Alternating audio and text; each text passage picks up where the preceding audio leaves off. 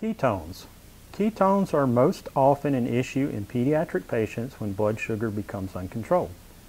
To test for ketones, a urine sample will be needed. In infants, urine samples can be collected by in and out catheterization or by using a plastic urine collecting bag. For older pediatric patients, have them urinate into a specimen collection cup. Once urine is collected, obtain urine test strips. Dip the strip into the urine.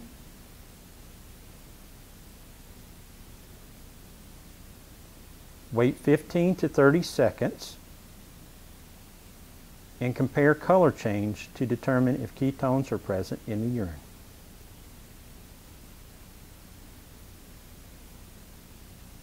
If ketones are present in the urine, a blood test will be needed to determine correct levels.